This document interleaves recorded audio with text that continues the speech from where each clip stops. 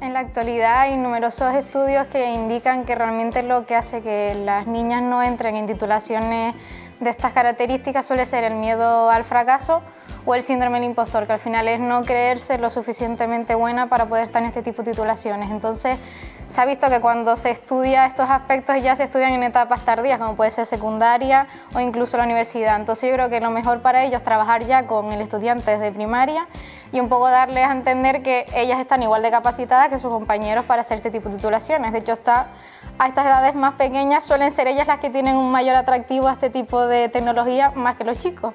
Entonces yo creo que si trabajásemos ahí estaría prácticamente todo solucionado.